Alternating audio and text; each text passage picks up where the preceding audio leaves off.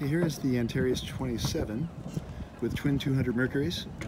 The um, cockpit, similar to the 23, has a, a, a, seat that slides forward. So basically, when the engines come up uh, for storage, the seat uh, slides over to the um, table there. And it's a little bit of a bigger cockpit with more uh, grab rails and drink holders. And uh, this one's got the teak cockpit and teak uh, swim platforms. So stepping aboard, you can see it's got the um, swim ladder right there on the starboard side.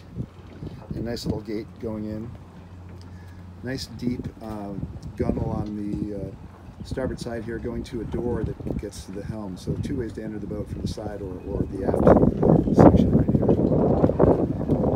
And looking inside at the cockpit, probably you know six to seven people, a nice big comfortable cockpit, very safe with good handrails, ease of access to the cleats for tying the boat off and uh, rod holders and stuff. This big teak uh, cockpit table looking in, there's no step down ready to get in. It's straight into the galley and the salon, so really easy to um, to uh, get into the boat without tripping on anything. Nice big galley. You can see uh, more drink holders, uh, two burner propane stove on that one, and uh, fridge below, and storage drawers on it. And then on the port side is, is a dinette double um, with a drop, drop down double.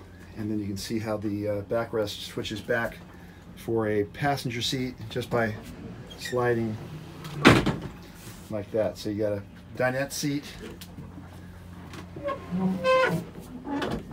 and then a passenger seat.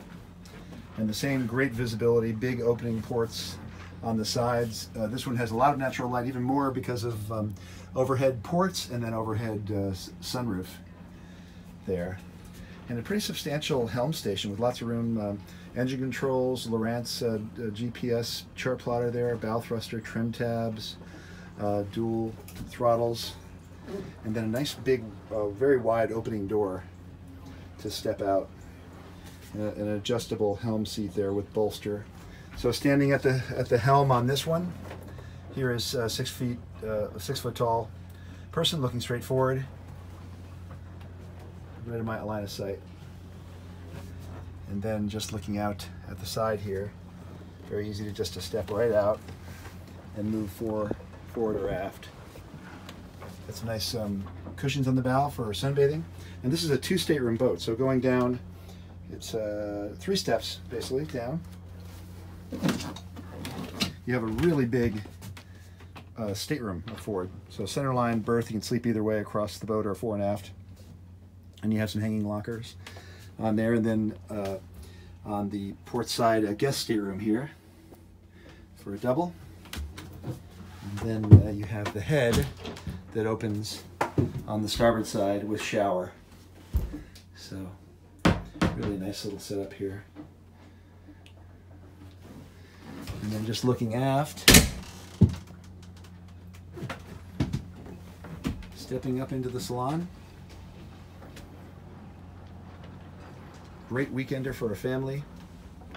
This boat probably is in the neighborhood of, of uh, 190 to 200,000 delivered.